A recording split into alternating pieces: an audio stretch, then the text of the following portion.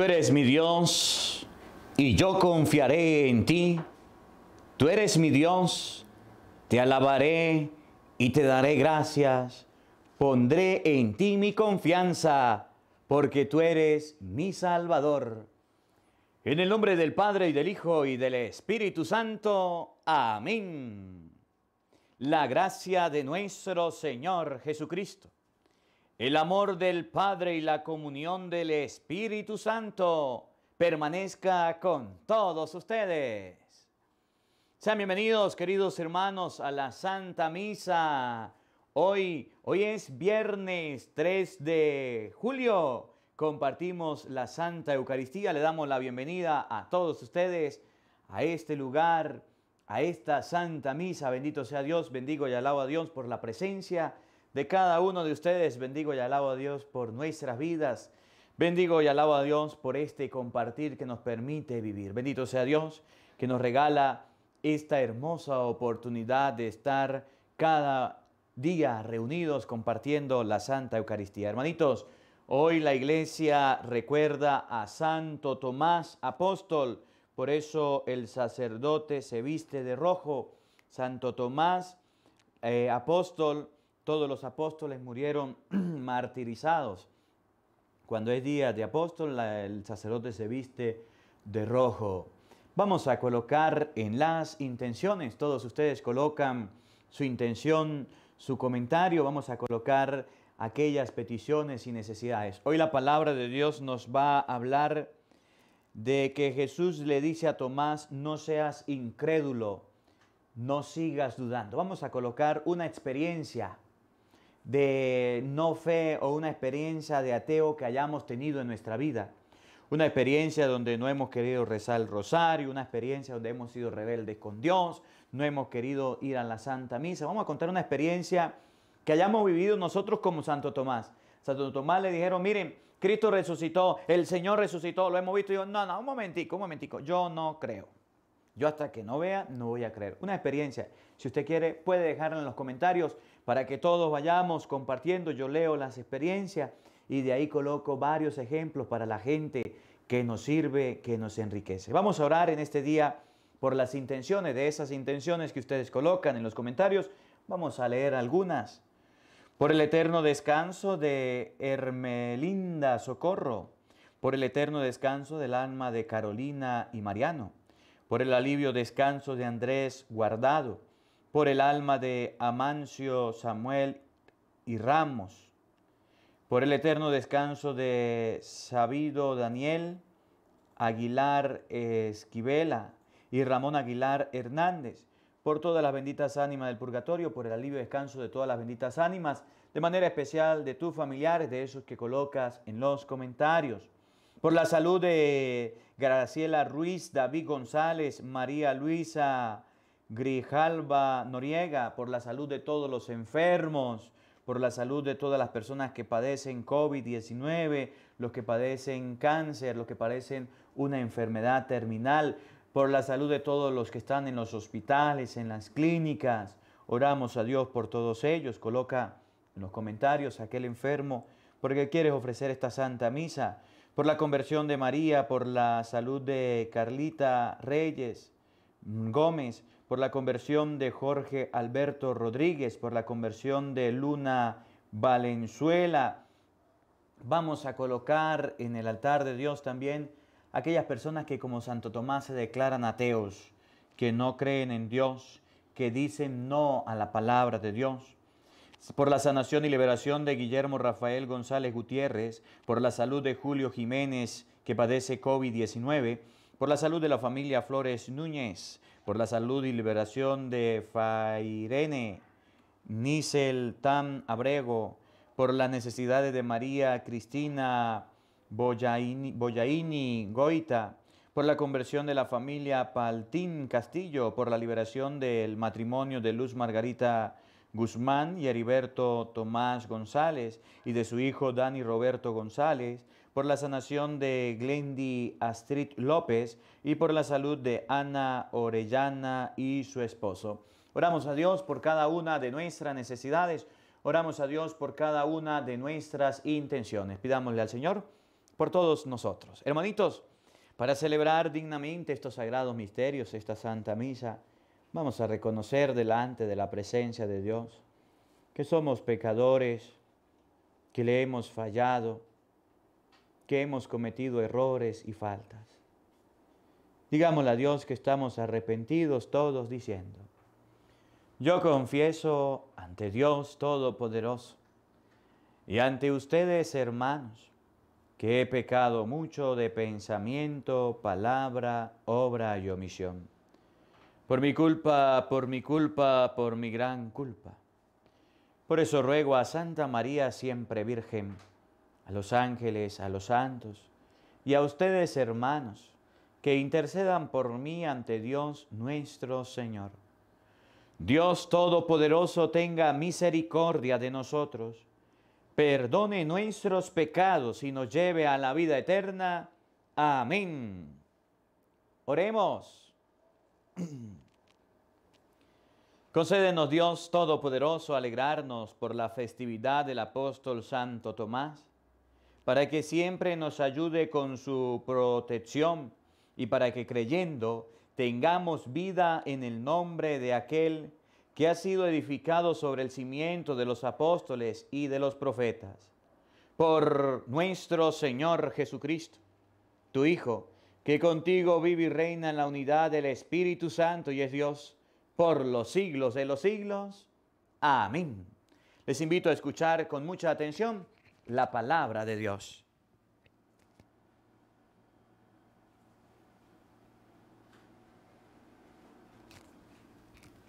De la carta del apóstol San Pablo a los Efesios.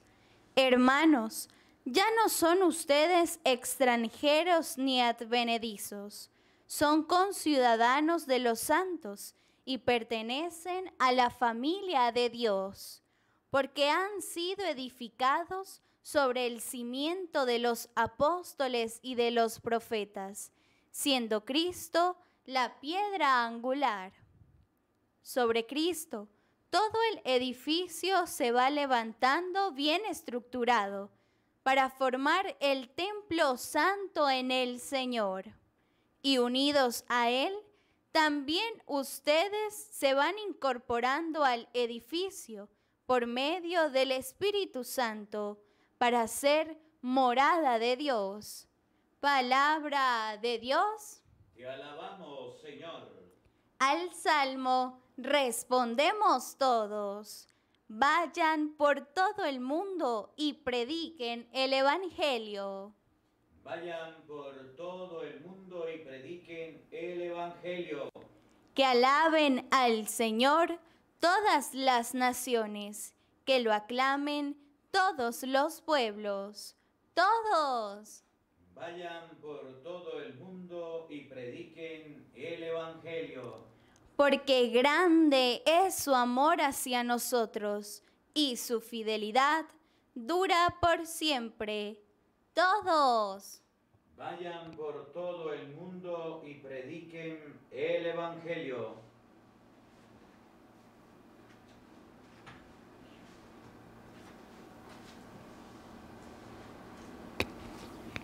Aleluya, aleluya. Tomás Tú crees porque me has visto, dice el Señor, dichosos los que creen sin haber visto. Aleluya. El Señor esté con todos ustedes. Les anuncio la buena noticia de nuestro Señor Jesucristo según San Juan. Gloria a ti, Señor.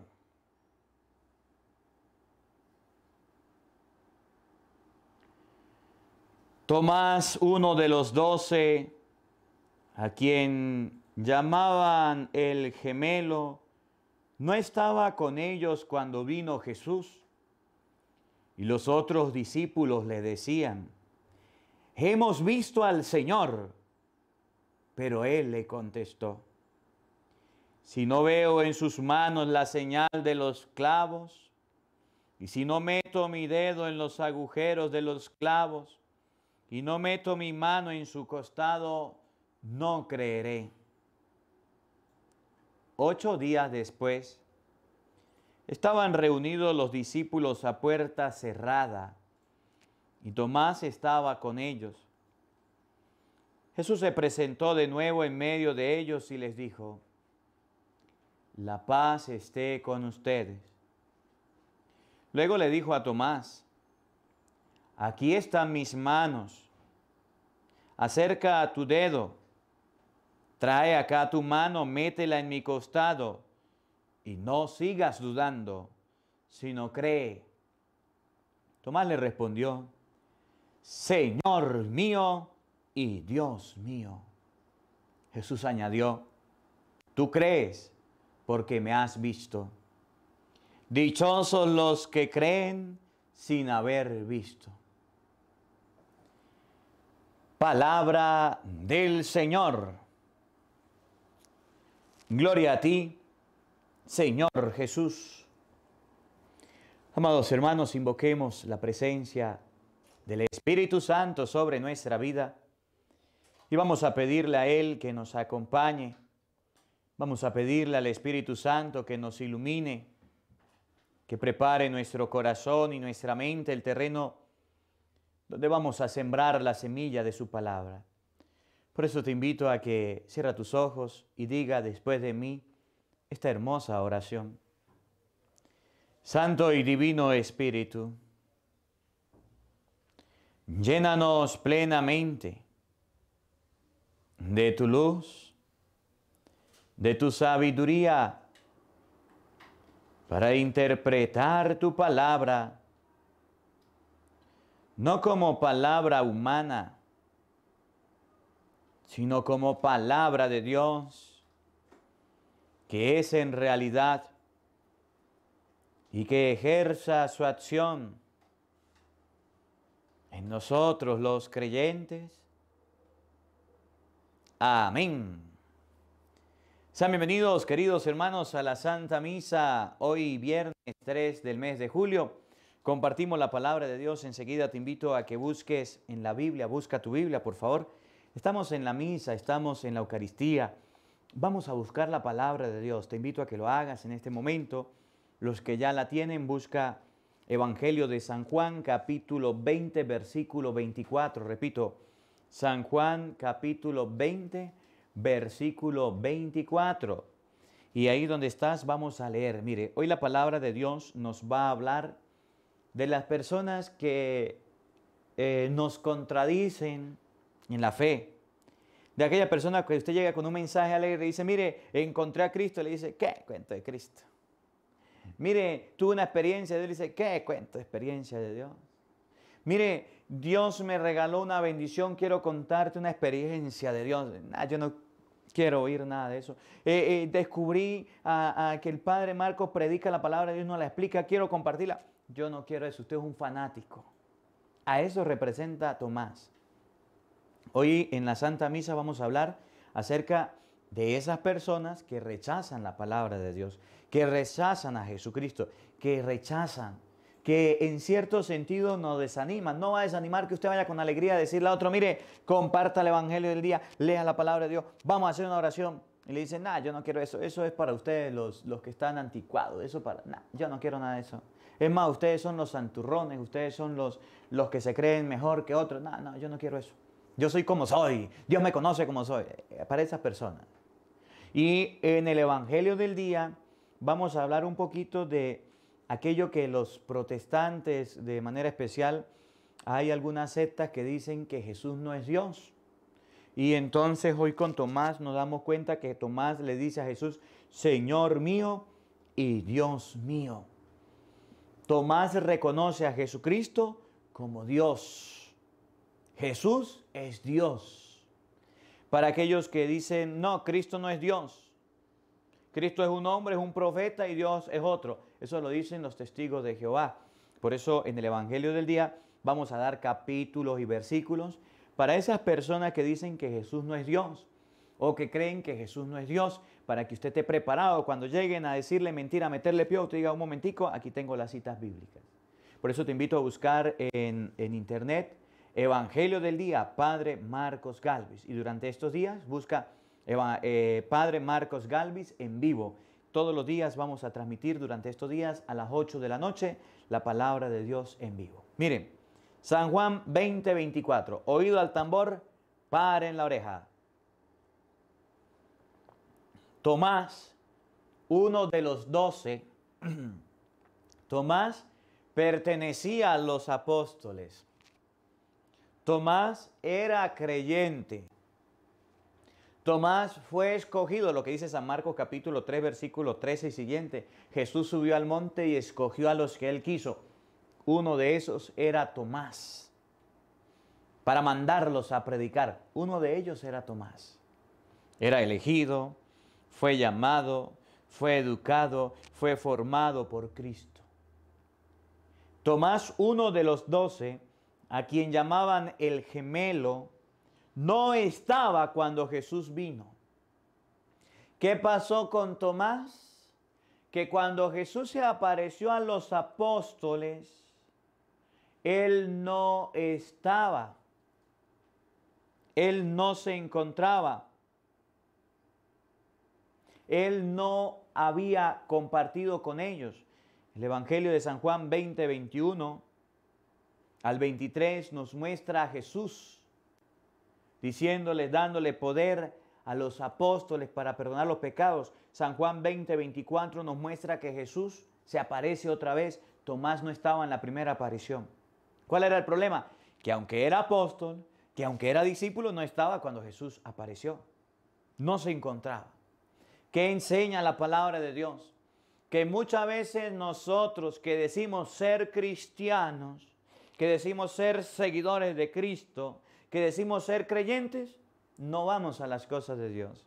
No queremos participar. Y me da una tristeza tan grande cuando hay personas que dicen, yo tengo 20 años coordinando un movimiento de apostolado.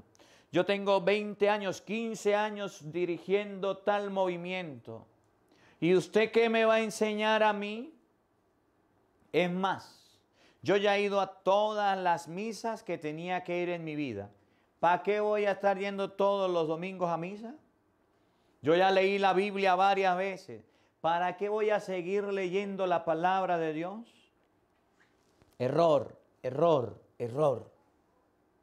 Cuando usted ve a una persona que ya sea adulta en la fe y se crea la última pezzicola en el desierto, lo maximito y no tenga tiempo para Dios, diga, este es un orgulloso.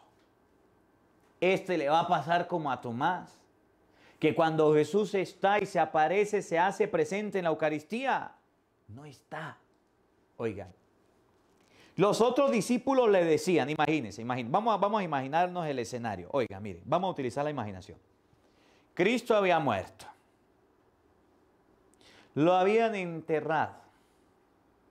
Los discípulos tenían una fe, una esperanza tan grande en el Señor que cuando le mataron el maestro, herirá el pastor, se dispersarán las ovejas, se dispersaron los apóstoles y estaban asustados llenos de miedo, temerosos, tristes, angustiados, deprimidos, decaídos. Oye, una pregunta, con todo el respeto. ¿A usted alguna vez se le ha muerto un familiar? Sí. ¿Y cuál es el sentimiento por la muerte de un familiar? Tristeza. Otra pregunta. No muerte.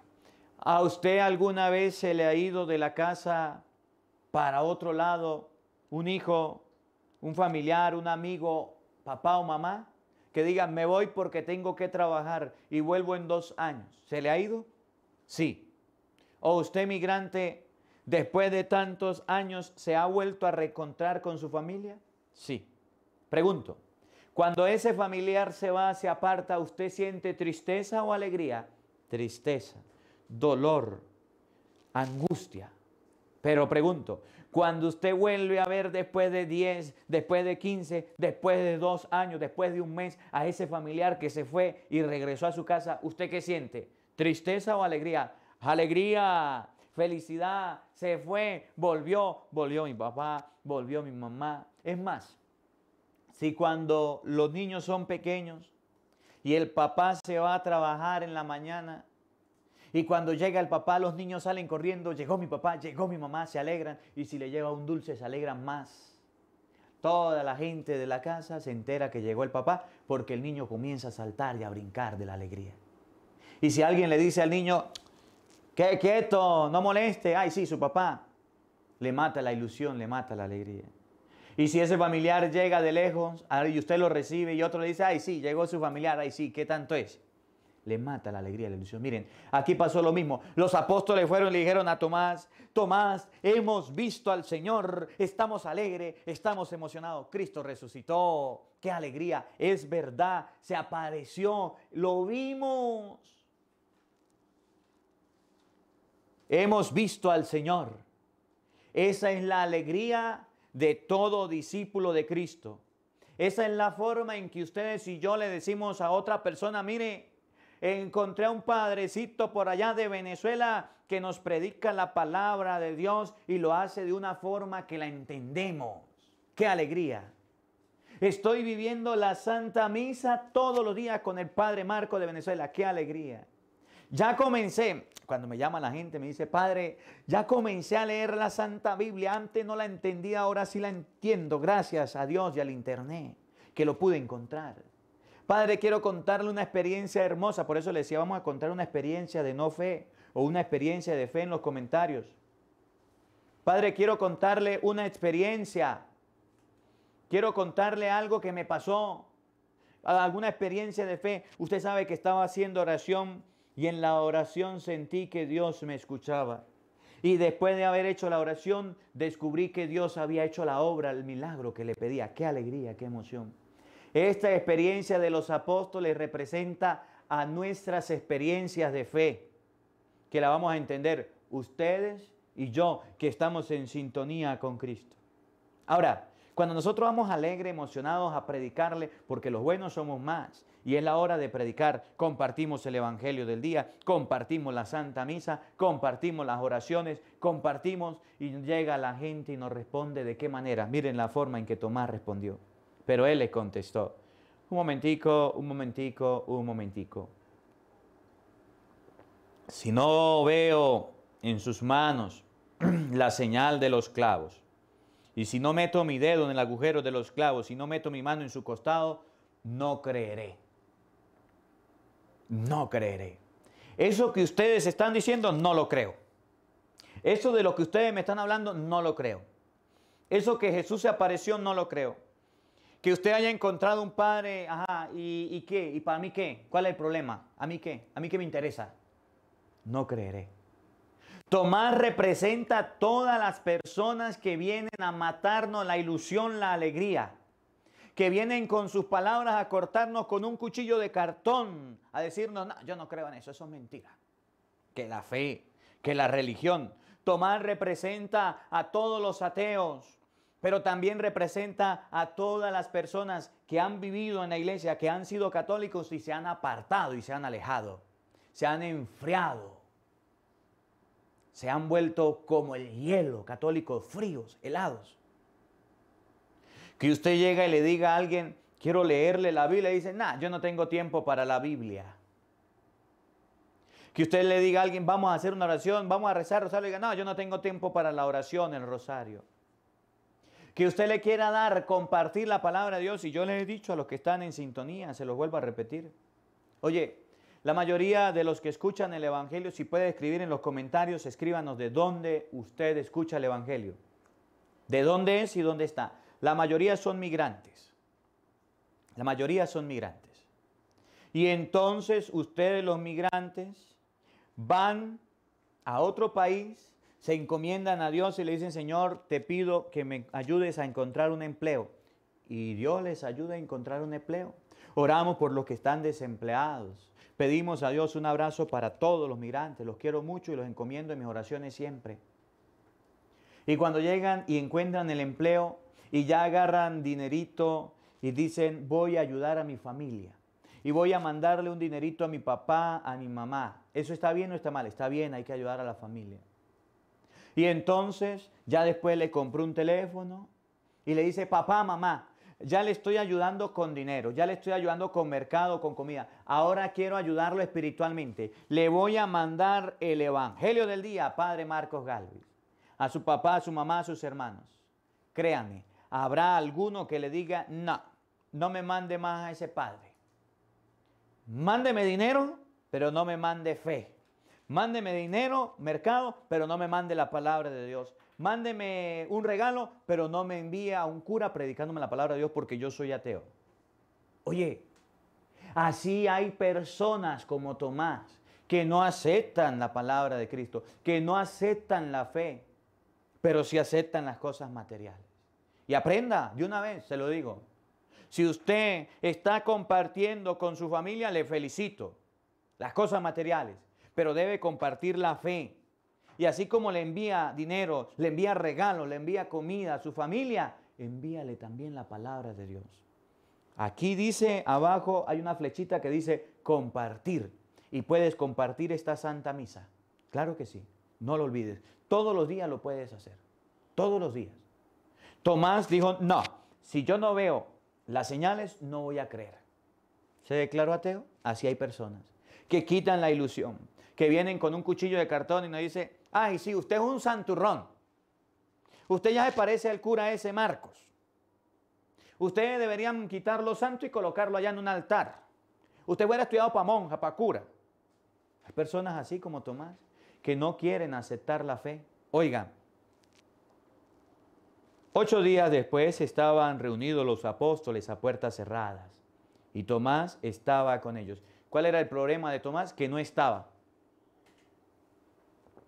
Ahora, cuando ustedes y yo logramos involucrar a Tomás, a todos los ateos, a ese que te critica, a ese que te insulta, a ese que te dice santurrón, cuando logramos integrarlos, cuando no nos cansamos, porque los buenos somos más y es la hora de predicar y le predicamos, Él se reúne, Él logra unirse.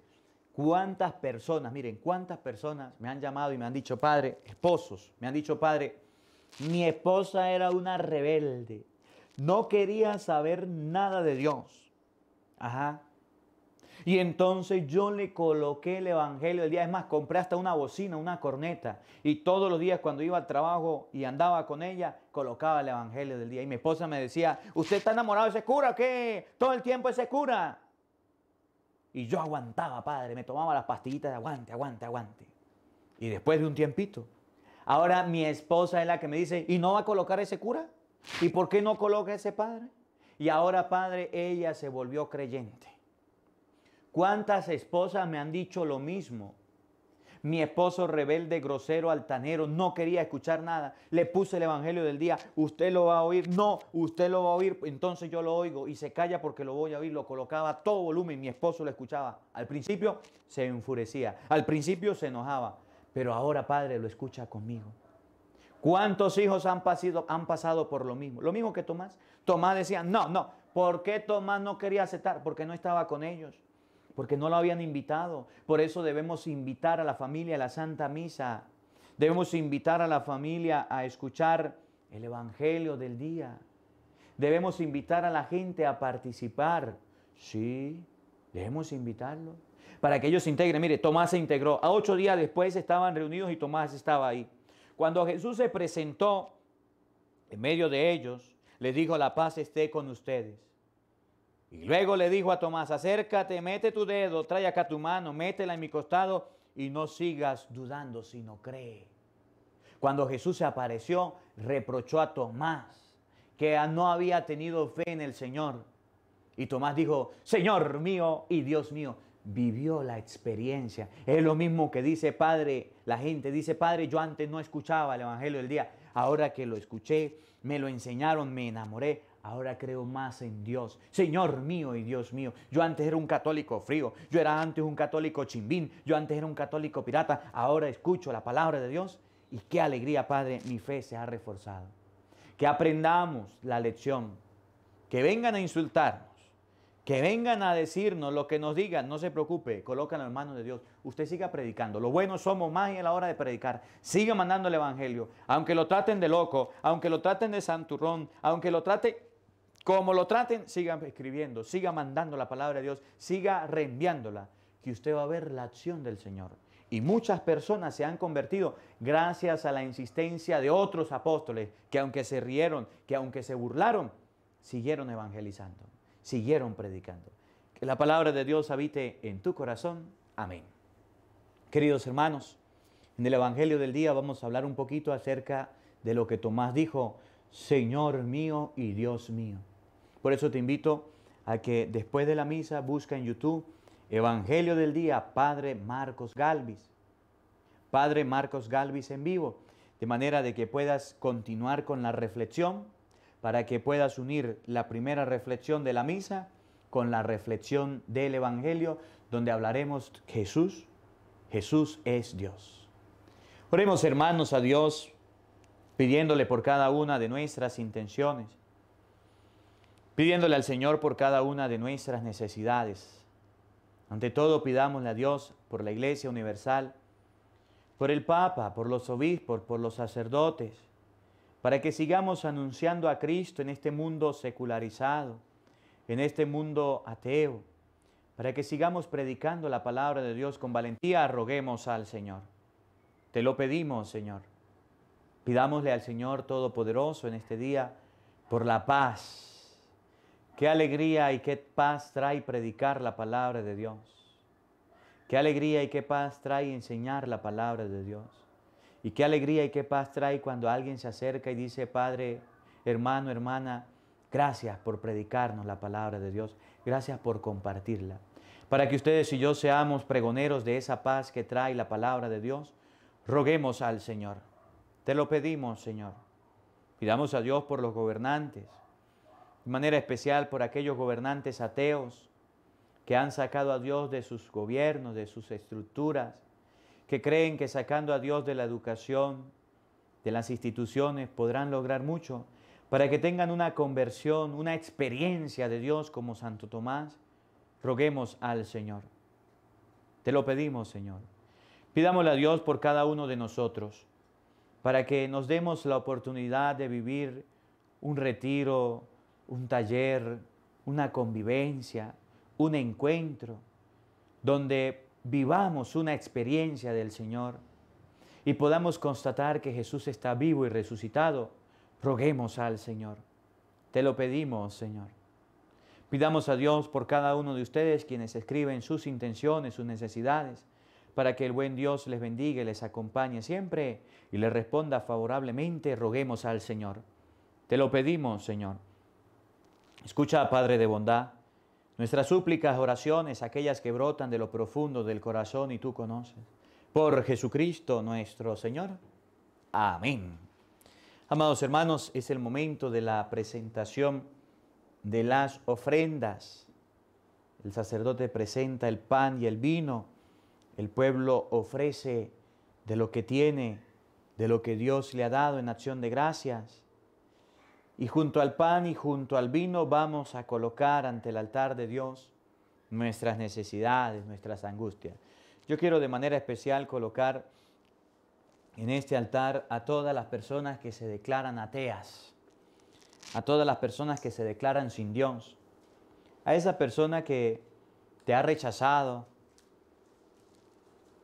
a esa persona que ha dicho, no quiero que me envíes el Evangelio, a esa persona que te ha insultado inclusive, que te ha bloqueado, a esas personas que, que han negado la fe. Vamos a colocarlas en el altar de Dios, a ese hijo rebelde, a ese familiar. ¿Cómo se llama? Coloquémosla. Y les invito a contar tu experiencia en este momento. ¿Cómo ha sido tu experiencia de rebeldía con Dios? ¿En qué momento de tu vida te pareciste a Santo Tomás? ¿En qué momento? A Tomás. ¿En qué momento te pareciste? Colócala ante el altar de Dios y pídele al Señor que aumente la fe en ti y en aquellas personas que rechazan la fe. Bendito sea, Señor Dios del universo, por este pan, fruto de la tierra y del trabajo del hombre que recibimos de tus manos generosas. Y ahora te lo presentamos. Él será para nosotros pan de vida. Decimos todos, bendito seas por siempre, Señor. Bendito sea, Señor Dios del universo, por este vino, fruto de la tierra y del trabajo del hombre, que recibimos de tus manos generosas. Y ahora te lo presentamos. Él será para nosotros bebida de salvación. Decimos todos, bendito seas por siempre, Señor. Acepta, Señor, nuestro corazón contrito y nuestro espíritu humilde, que este sea nuestro sacrificio, que sea agradable ante tu presencia, Señor Dios nuestro. Oren, hermanos, para que este sacrificio mío y de ustedes sea agradable a Dios Padre Todopoderoso. Todos, el Señor reciba de tus manos este sacrificio para alabanza y gloria de su nombre, para nuestro bien y el de toda su santa iglesia. Oremos.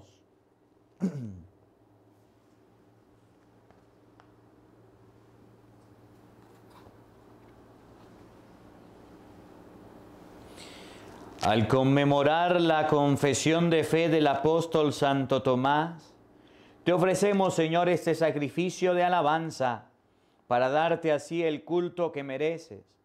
Y te pedimos humildemente que cuides en nosotros los dones que de ti hemos recibido.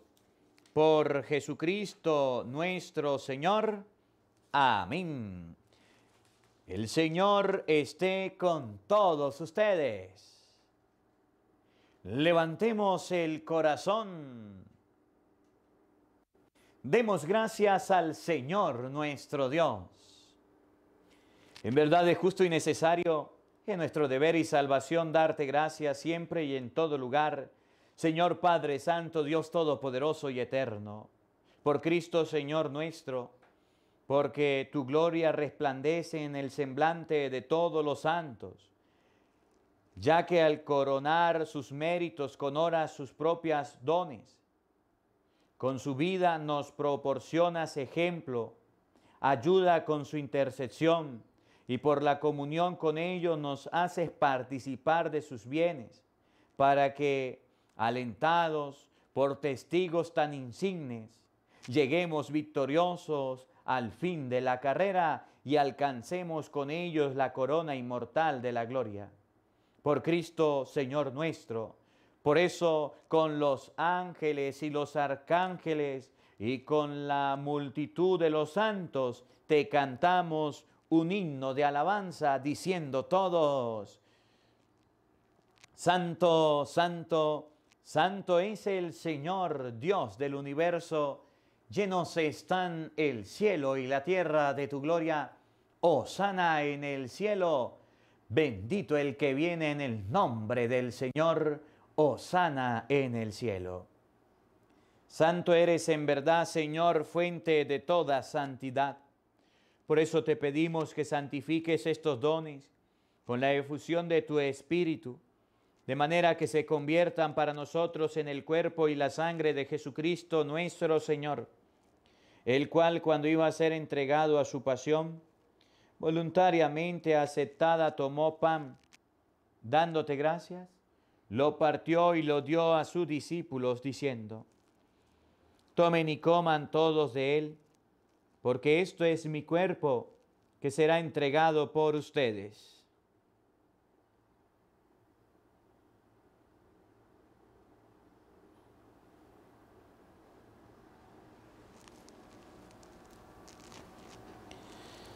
Del mismo modo, acabada la cena, tomó el cáliz y dándote gracia de nuevo, lo pasó a sus discípulos diciendo, tomen y beban todos de él, porque este es el cáliz de mi sangre, sangre de la alianza nueva y eterna, que será derramada por ustedes y por muchos para el perdón de los pecados. Hagan esto en conmemoración mía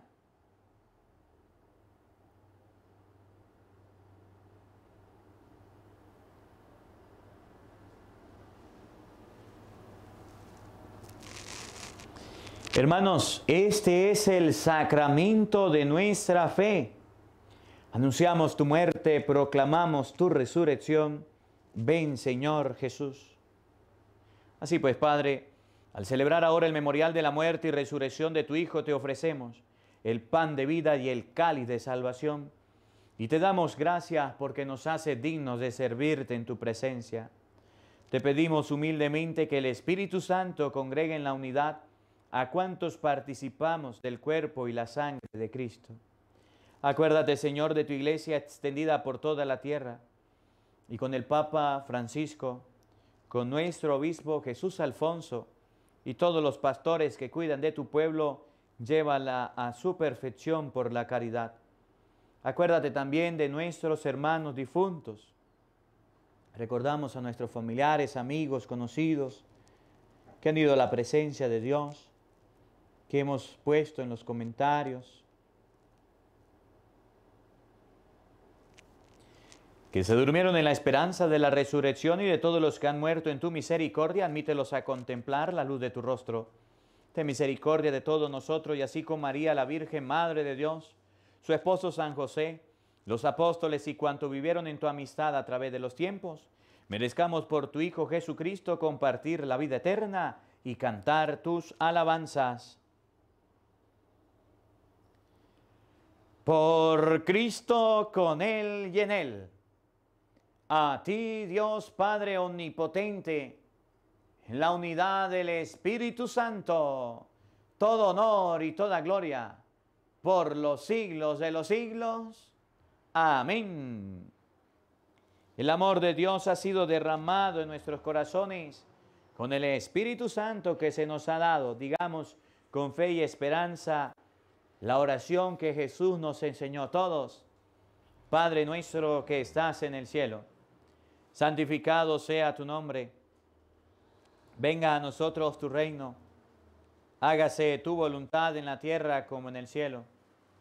Danos hoy nuestro pan de cada día. Perdona nuestras ofensas, como también nosotros perdonamos a los que nos ofenden. No nos dejes caer en tentación y líbranos del mal.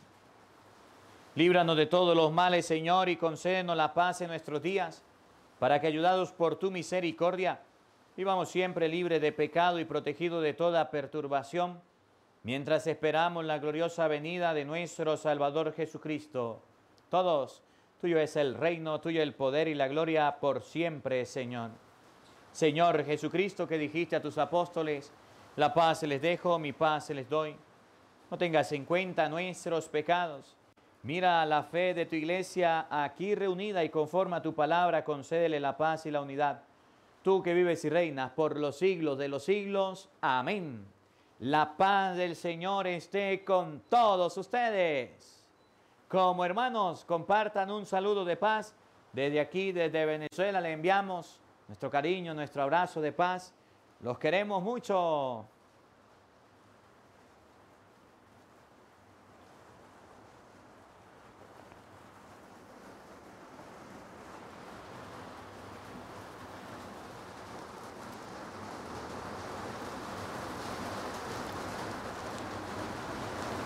El cuerpo y la sangre de nuestro Señor Jesucristo, unidos en este cáliz, sean para nosotros alimento de vida eterna. Señor Jesucristo, Hijo de Dios vivo, que por voluntad del Padre y cooperando el Espíritu Santo, diste con tu muerte la vida al mundo.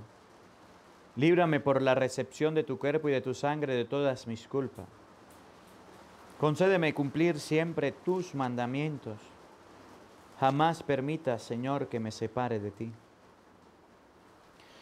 Cordero de Dios que quitas el pecado del mundo, ten piedad de nosotros. Cordero de Dios que quitas el pecado del mundo, ten piedad de nosotros. Cordero de Dios que quitas el pecado del mundo, danos la paz. Hermanos, he aquí el Cordero de Dios que quita el pecado del mundo. Dichosos ustedes invitados a la cena del Señor. Señor, no soy digno de que entres en mi casa, pero una palabra tuya bastará para sanarme.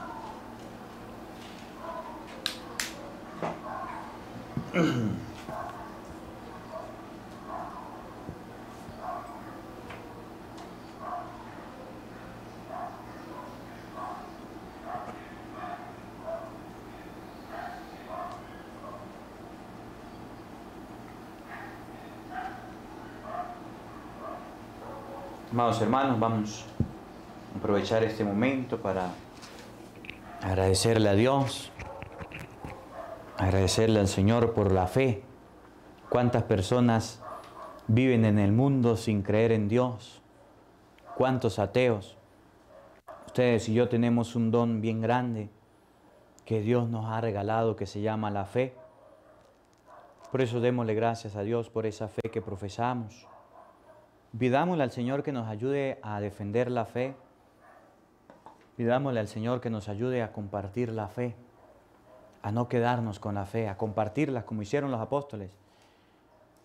Tenían la fe, encontraron a Jesús y compartieron con Tomás, aunque era de los discípulos.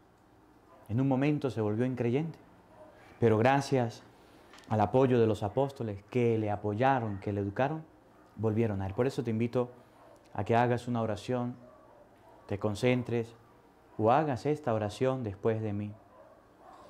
Alma de Cristo, santifícame. Cuerpo de Cristo, sálvame. Sangre de Cristo, embriágame. Agua del costado de Cristo, lávame. Pasión de Cristo, confórtame. Oh buen Jesús, óyeme. Dentro de tus llagas, escóndeme. No permitas que me separe de ti. Del maligno enemigo, defiéndeme. En la hora de mi muerte, llámame y mándame a ir a ti para que con tus santos te alabe por los siglos de los siglos. Amén. Oremos.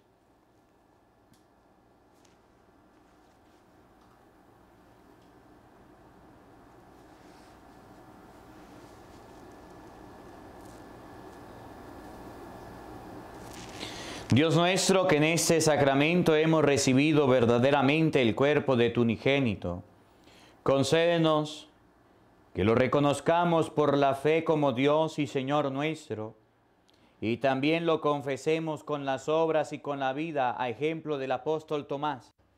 Por Jesucristo nuestro Señor. Amén. Amados hermanos, gracias por acompañarnos en esta Santa Misa. Gracias por estar con nosotros. Los que son nuevos por primera vez, suscríbanse por favor y denle en la campanita y los que ya están suscritos, ya le dieron a la campanita, ahora vamos a compartir la Santa Misa. Los apóstoles compartieron la fe. Ustedes y yo somos discípulos de Cristo, debemos compartirla. Y una forma es compartiendo a través de las redes sociales. Mi trabajo lo estoy haciendo.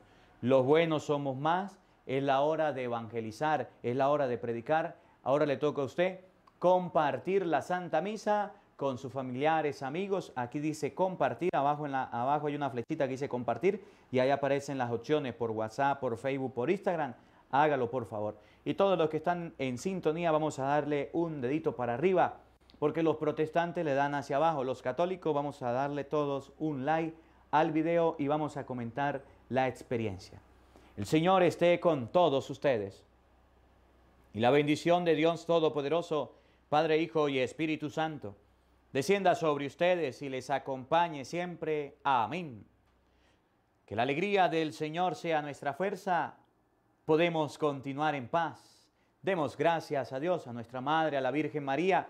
Le decimos todos, Dios te salve María, llena eres de gracia, Señor está contigo. Bendita tú eres entre todas las mujeres, y bendito es el fruto de tu vientre, Jesús. Santa María, Madre de Dios, ruega por nosotros pecadores, ahora y en la hora de nuestra muerte. Amén. Un feliz día para todos. Los quiero mucho. Nos vemos mañana a la misma hora por el mismo canal para la Santa Misa. Dios mediante.